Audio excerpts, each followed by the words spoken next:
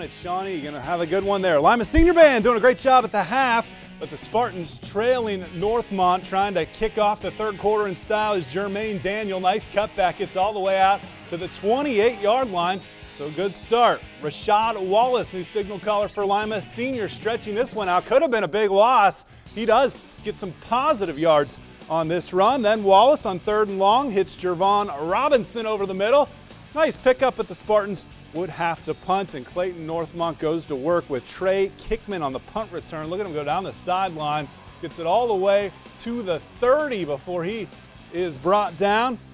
Lima Seniors defense trying to keep Northmont out of the end zone, trailing by a couple scores where the Spartans, nice defense here, but Miles Johnson hooking up with Justin Golson, and he does the rest.